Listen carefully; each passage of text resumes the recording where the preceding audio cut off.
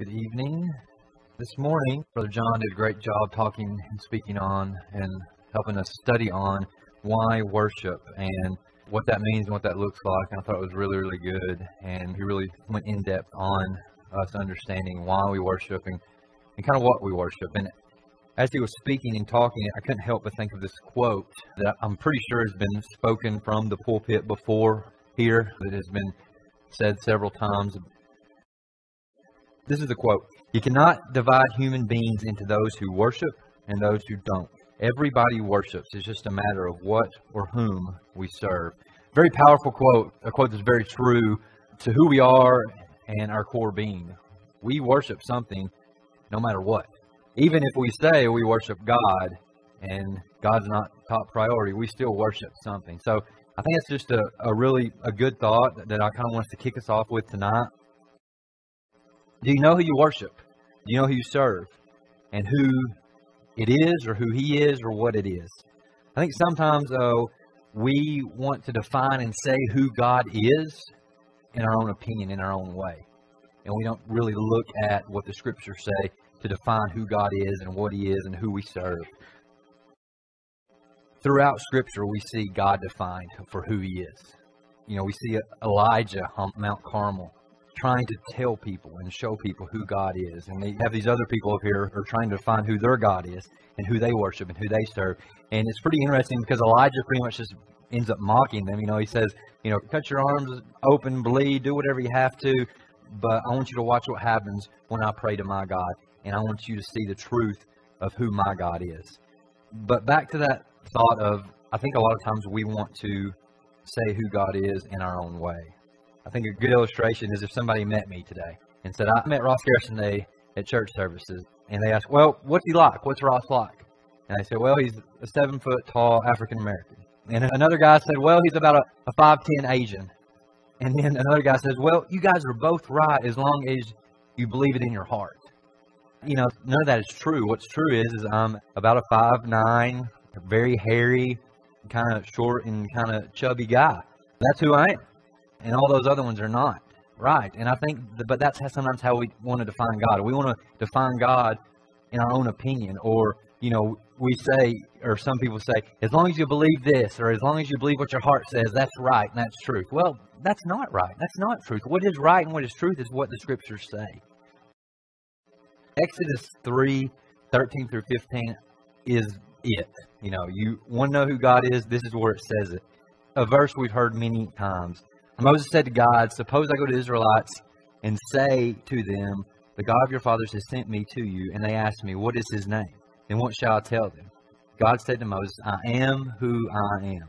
This is what you are to say to the Israelites I am has sent me to you. God also said to Moses, Say to the Israelites, The Lord, the God of your fathers, the God of Abram, the God of Isaac, and the God of Jacob has sent me to you. This is my name forever, the name you shall call me from generation to generation. I am who I am. God is who He is. This is what this passage is saying. God is who He is. God absolutely is. This is the most basic fact and the most ultimate fact, period. Of the billions of facts that we see in this book, in the scriptures, this is the one that's at the top.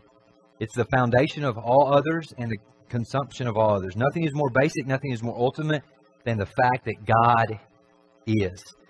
And that's so important for our church. It's so important for where you're at in life. Nothing's more foundational in your life than this fact. For your marriage, for your job, for your health, for your mind, for your future, God is. Nothing is more foundational in the whole entire world. God is.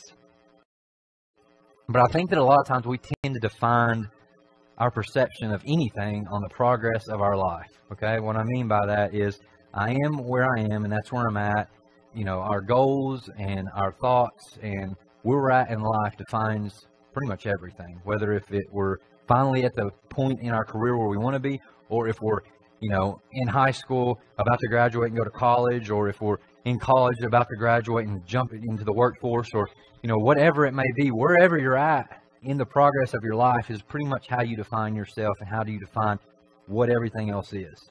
And instead, it should be God is at that top. God is what defines me, and then we go down from that. tonight, for just a couple minutes, I want to talk about how we define God, who God is, and what that looks like. And I want to use two different people in the scriptures. I want to look at Joseph and I want to look at Ezekiel. I've been teaching the fifth grade class on Wednesday nights, and we have been working through this new Bible curriculum that is really, really good. It's great stuff. It's just great. If you haven't been able to look at it, I encourage you to check it out and look at it. And one of the stories we've been working through is Joseph. We just finished Joseph. And the story of Joseph and what he went through and how he did it is just so foundational and so important. It's really neat to be able to teach that and talk to fifth graders about that and see how that relates to them. But I want to refresh you a little bit just to kind of make sure we're on the same page. After being sold into slavery by his own brothers, Joseph surprisingly rose to power in perhaps the most powerful empire in the world. The Lord was with Joseph, and he became a successful man, and he was in the house of his Egyptian master. His master saw the Lord was with him, with Joseph, and the Lord caused all that he did to succeed in his hands. I want to stop right there. This is coming from Genesis chapter 39 if you're following along in your Bible. But I think it's really, really important statement here is that Joseph's master, in other words, Joseph's boss, saw that God was with him. That's a crazy thought. It's stated in the scriptures that Potiphar saw that God was with Joseph. So that's pretty much his boss, says master in this text, but boss. How many of our employees at work, how many of the people that we're associated with each and every day can say, hey, God is with them? Or hey, they follow Jesus. I can just see it. That's what was going on with Joseph. How many of that can be said for us? Whether you work at a bank, whether you work at school, whether you, you know, wherever you're at, whether you're a student, how many of us can say that the people around us, people that we associate with, know that we're a follower of Jesus? Joseph's boss could tell he was a follower of God. Okay, back into Genesis 39. So Joseph found favor in his sight and attended him, and he made him overseer of his house and put him in charge of all that he had. Potiphar put Joseph in charge of everything, but Potiphar's wife lusted after Joseph and tried to seduce him. When he faithfully refused her advances, she framed him, claiming he had come to her. Her lies ripped him from all his power, responsibility, and landed him in prison. He committed no sin, Neither was deceit found in his mouth, and yet he was treated as worse than a slave, locked away without hope of release. Joseph's resistance to temptation is a testimony to his trust in God. He knew who God was, and he knew that no matter what, if he trusted in God, things would work out. In that moment, it may not be that great, but he knew if he put that trust in God, it would eventually get him where he needed to be. You know, a few minutes ago, I talked about our progress. Where we're at in life defines who we are or who God is sometimes. But if you look at Joseph, he had a pretty good gig. He became, you know, the head guy in Potiphar's household, had a, you know, a great job. And then one thing, he didn't give in to the temptation. The next thing you know, everything kind of goes downhill. So if you looked at the progression of his life, you would think, man, and if that was how you define Joseph, he's lost everything, right? But if you look at it through a different perspective, maybe the right perspective, he didn't give into that temptation. He didn't give into that lust or whatever it may be. Instead, he put his trust in God and just got out and he understood who God was and what God was going to do with him.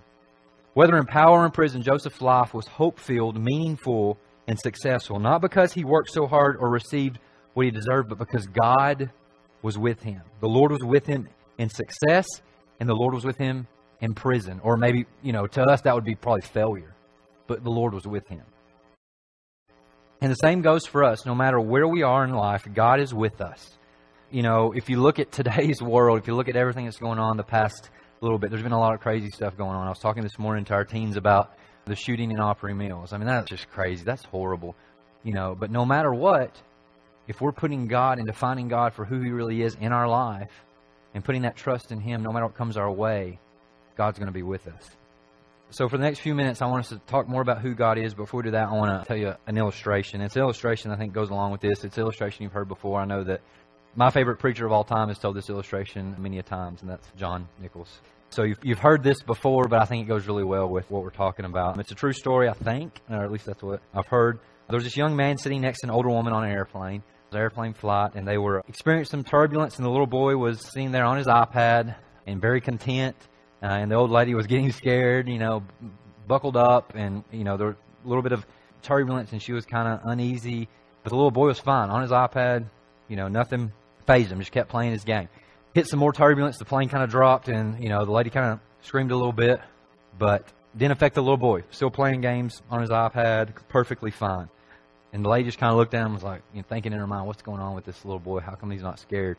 You know, the lady's thinking to herself, I'm over here scared to death, and this little boy's fine just on his iPad. So it goes a little further on their flight, hits some more turbulence, plane drops a little bit, and she even more paranoid, scared. The little boy's perfectly fine, perfectly content, perfectly calm, playing on his iPad. And finally, the lady looks at the little boy and says, Are you not scared? What's going on? Like, do you not see what's happening? You know, we're hitting this turbulence. You know, what's going on? Why are you not scared? And the boy looked at the lady and said, Miss, really, I'm not scared at all because my daddy is the pilot of this plane. And it's going to be just fine.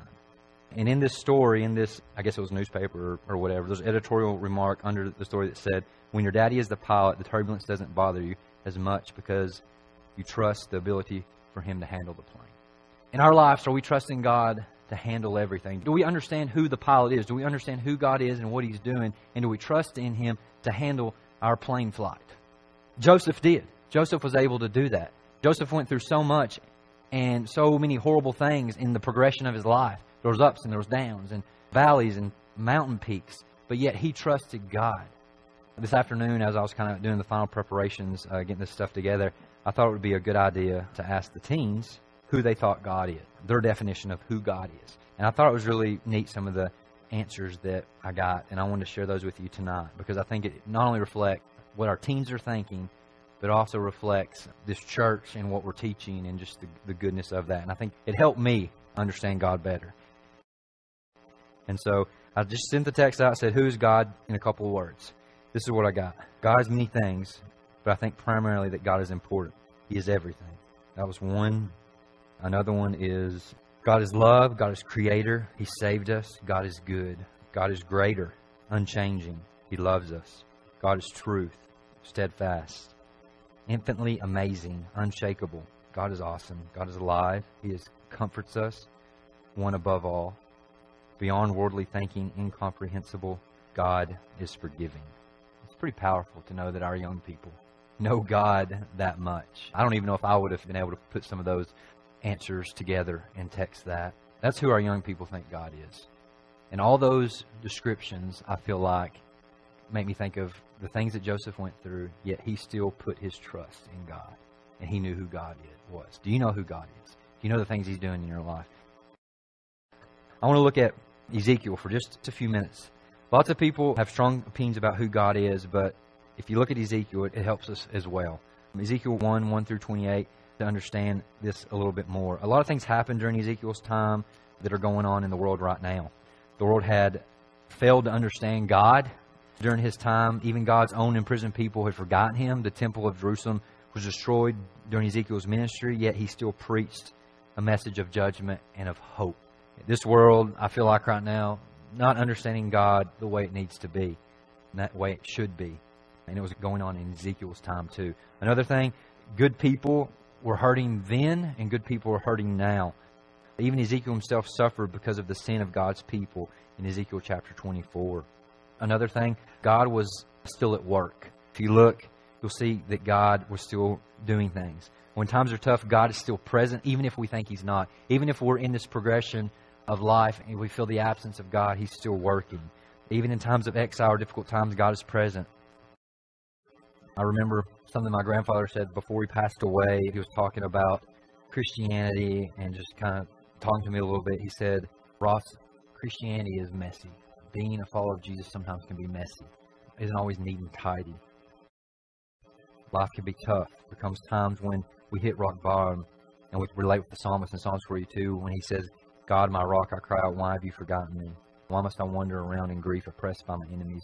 Their taunts break my bones. They scoff, where's this God of yours? I think we can relate to that sometimes. Everybody in scriptures we see have, sometimes goes through suffering. But God doesn't stop moving. His presence doesn't leave us. So we can't forget that. Uh, so when we think about who God is, you have to remember that His presence is there, even during the tough times, even during the hurting times. So, Ezekiel chapter 1, the first thing I want us to realize is that God is greater than I am. Ezekiel 1 says, In my 13th year, in the fourth month of the fifth day, while I was among the exiles by the Chebar River, the heavens were open, and I saw visions of God. On the fifth of the month, it was the fifth year of the exile of King Joachim, the word of the Lord came to Ezekiel, the priest, the son of Buz, by the Chebar River in the land of the Babylonians. And there the hand of the Lord was on him. I looked and I saw a windstorm coming out of the north, an immense cloud with flashing lightning and surrounded by brilliant light. The center of the fire looked like glowing metal, and the fire was what looked like four living creatures in appearance. Their form was human. So, Ezekiel chapter 1, it kind of tells us, gives us a kind of a description of God and what he looks like. And for some reason, humanity has always wanted to be like God or be higher, or be better than God. It goes back to Adam and Eve. Satan tempted Eve in the garden. In Genesis 3, Satan's trying to convince Eve, you will come like God. And we know the rest of the story and what happens. But I appreciate verse 4 of this passage, Ezekiel 1, because it tells how unique God is. God is not described as a kind old man or a friend, a neighbor, or even brother or sister, but rather unique and holy. An author, Louis Giglio, said this concerning this passage God is holy, completely pure, and good. Humanity is not. As an expression of God's holiness, God disciplines his disobedient children. Reading the book of Ezekiel should lead people who are far from God to see his glory, hear of his grace, and draw near in repentance. This book should lead followers of Jesus to remember that perfect character of God, how he has already accomplished his gracious salvation. This book looks forward to and to the depend on the Spirit of God to help them live for God in every area of life. Pretty cool description of Ezekiel and what this passage means and what it looks like. A lot of times we forget how great God is, and this passage does a great job of describing how great God is. God is all powerful and wise. God is all powerful and wise. One of the hardest parts of this chapter is trying to understand and wrap our mind around these creatures in verses 5 through 24. I'm not going to read all that, but it's really hard to kind of understand what's going on here and the way it's described, but there are principles we can take from this text, okay? In verses 10 through 18, his perspective. God sees everything happening everywhere all the time. God sees it all. God knows what you're going through. God knows everything. He knows what's happening. His perspective on everything is what matters. Another thing we see is presence. We've already talked about this a little bit. His presence is important. God can go anywhere He chooses. In verses 17 through 21, we see that. And then another point is His power. God can do whatever He chooses to do in verses 24 through 28. God is never limited by ignorance or inability. Nothing can hold him back. He can handle our problems. He can take care of us. Sometimes we don't think that. Sometimes we don't want to think that. Sometimes we don't want to try to let him even take on our problems, but he can. God is not limited by my circumstances. For some reason, we think we get in these horrible circumstances, we make these bad choices, we get to these positions, and God is not going to be there. As those who were away from the land of promise, God's people needed to be reminded that they had not lost God with their land. God moves. He is as quick as lightning, Ezekiel 1 13 through 14. There's the language in this passage uses the language, it says chariot. And what is all this kind of language supposed to mean? Is it uses chariot and as it talks about lightning and stuff like that, it means that God will not fit in my box. He's not limited to where I think He is. He can do anything. Psalms 139, verses 7 through 10, talks a lot about that. We sometimes believe that we can go beyond His limits, but that's not true. He is always there. And God has come to us. He initiates. A lot of people don't believe that. A lot of people don't believe that God initiates things and tries to get things going. God made the effort to speak to his people through Ezekiel. Did God's people deserve that? Probably not. Do we deserve for him to initiate things in our life? Probably not, but he still does. How should God's people respond to his willingness to initiate contact with stubborn, sinful people? We should worship. We should praise and glorify. That's what John talked about this morning. God has spoken. The vision of God in Ezekiel 1 climaxes with a voice in verse 25. We see a progression in the vision from a sight to a sound to a voice. God hasn't just made his presence known, he's communicated perfectly through His Scripture, through His Word, that He wants us, that He cares about us, and He'll do anything for us, obviously. God's Word is essential, His Word gives life. So important. So, after reading Ezekiel 1, after looking at that passage, what can we say when someone asks who God is, or who is it that we serve, or why do you follow Jesus? In a world that's forsaken God, in a world of people that are hurting, in a world of people that need help, we should take comfort in the fact that God is still at work. He's greater than we are. He is all powerful and wise. He is not limited by my circumstances or by any circumstances. He has initiated contact with us and He has spoken. All those things He did in Ezekiel, He still does today. That's what's so important. That's what sometimes we forget. Our problem isn't knowing who God is, it's recognizing Him for who He is and what He's capable of doing and letting Him do those things in our lives. That's what we don't do sometimes. Like I said, I talked last week uh, on Psalm 51. We talked about David, and we talked about sometimes the main thing that blocks us from God being active in our life is our own self because we haven't put God at the top. And so in this passage in Ezekiel chapter 1, it is very relatable because a lot of the things that are happening are going on today. And when you want to try to define who God is, you can look at Scripture for that. You know, we looked at Exodus, we looked several different things. But tonight, the main thing that I want you to know is that God is who He is. Exodus chapter 3. So, those are just a few thoughts on defining God and who He is and what He's doing. Uh, let's have a prayer together and then we'll offer an invitation. Father God, we're so grateful for your love that you rain down upon us. We're grateful for this congregation and ask that you continue to bless us, bless the work that's going on. I'm grateful for all those that do so much for this congregation to glorify you, to give you glory, to worship you. Please help us to strive to know you, to show you, and to care for others through you. We're so grateful for our brother Jesus, our Savior Jesus, our friend Jesus, and help us to strive to be in a discipleship with Him and follow in our rabbi's dust and try to do the things that He did, show the kindness that He showed. We're so grateful for Jesus, and it's in His name we live and we pray. Amen. Uh, as we always do, we want to offer invitation for those that may need it. I don't know where you're at tonight, but if you feel like you don't know God for who He is and don't have that relationship with Him, that you should. We want to help you tonight. We want to pray with you. We want to put our arms around you and help. If you're not a Christian, there's no better time than right now than to put Jesus on in baptism, to wash away your sins, and to give your life to our God. If we can help you in any way, please come right now as we stand and as we sing.